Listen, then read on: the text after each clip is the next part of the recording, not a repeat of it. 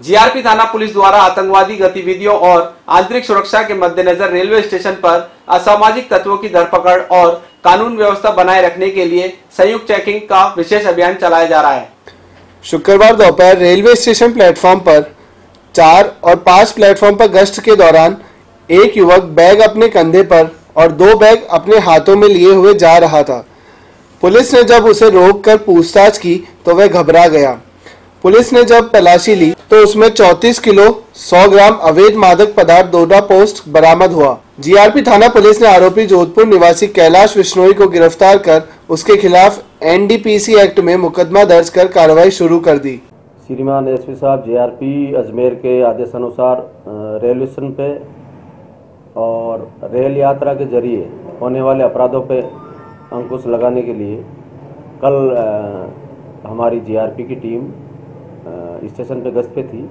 इसी दौरान platform number चार और पाँच पे एक व्यक्ति, जिसके कंधे पे एक बोरा और हाथ में दो बैग लिए हुए फिर पुलिस को देख के धीरे धीरे कदमों से जाने लगा। शंका होने पे उस व्यक्ति को हमारी टीम ने चेक किया तो उसके तीनों बोरों में मिला के चौंतीस किलो सौ ग्राम डोडा चूरा पोस्ट मिला, जिससे उस व्यक्ति को गिरफ़्तार किया और डोडा जब्त किए गए।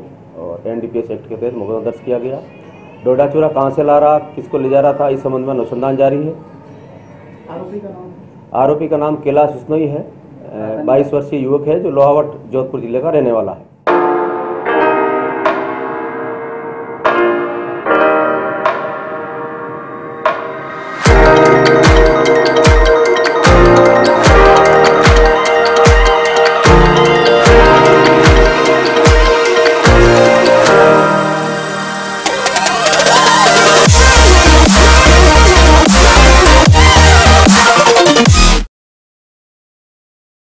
स्वामी न्यूज़ के सभी दर्शक तरोताजा खबरों के लिए यूट्यूब पर स्वामी न्यूज़ को सब्सक्राइब करें। साथ ही शहर से जुड़ी तमाम खबरों के तुरंत अपडेट्स के लिए बेल आइकन पर क्लिक करें। यह न्यूज़ आपको कैसी लगी? इसके लिए हमें कमेंट बॉक्स में आपके अमूल्य सुझाव दीजिए और इस वीडियो को लाइक व शेयर करें।